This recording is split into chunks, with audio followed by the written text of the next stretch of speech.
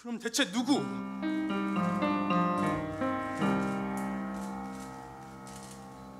내 동생을 죽이면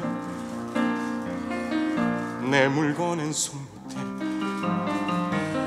내 동생을 죽이면 짜증 날 일도 없어.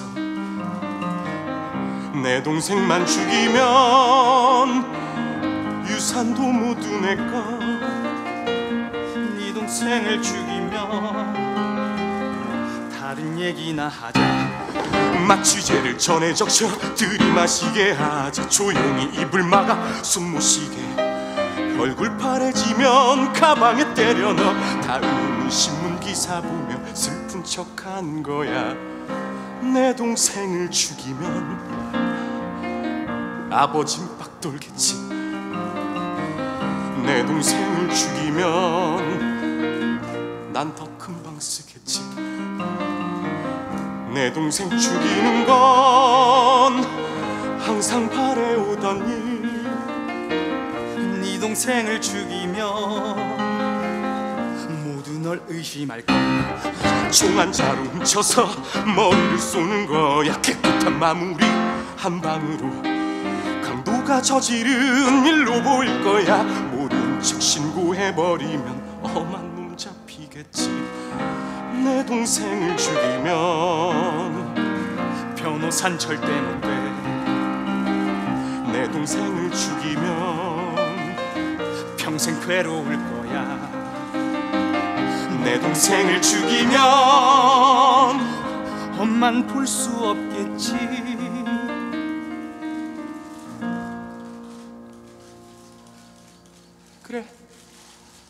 내 동생은 아냐 어린애나 죽이자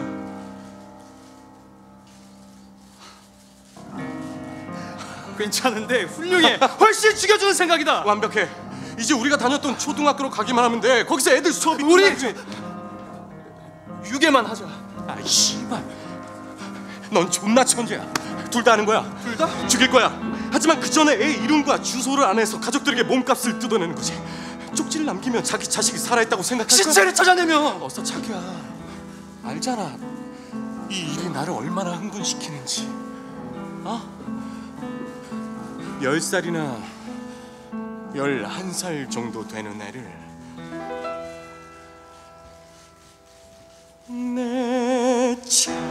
꼬셔서 내리쳐 쇠막대기로 시체는 먼 데다 버리면 돼. 동그란 얼굴 턱 사마귀 등장해 난점. 모두 영상을 뿌리는 거야. 누가 봐도 모르게 어린애를 죽이자. 영리한 아인 안돼. 어린애를 죽이자 힘센 아이도 안 돼. 미끼를 던져 유혹해. 30초면 끝이야. 탁월한 선택이야. 동생보단 낫잖아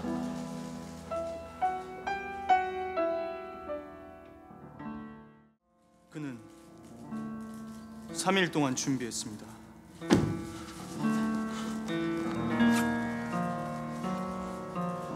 밧줄 쇠막대기 염산 다 됐어.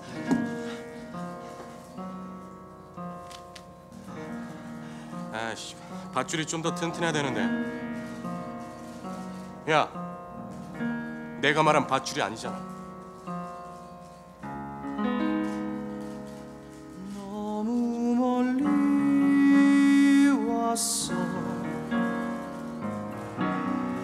따라 여기까지 너무 멀리 왔어. 거부하기에는 늦어버린 그의 노예였죠. 쇠막대기는 아주 좋아. 어쩌다 이렇게 뭐가 잘못된 걸까 어쩌다 이렇게 멀리 달아나 버릴까 못해. 내 양심은 이미 야이 씨발. 염산이 너무 적잖아. 조그만 놈으로 골라야겠다 장난이라니 그를 인정하긴 어렵지만 따르기 쉬웠어요 진정하려고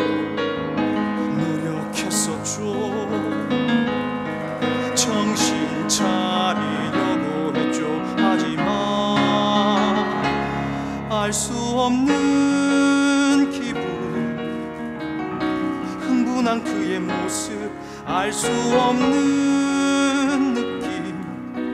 그만 멈춰보려 했지만 우린 너무 멀리 왔죠.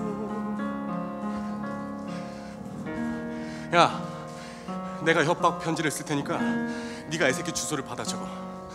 내가 목에 밧줄 긁으면 네가 묻는 거야. 살고 싶으면 주소를 풀어 애새끼가 주소를 풀면 내가 뒤통수로 후려칠 테니까 어? 이따 차에서 보자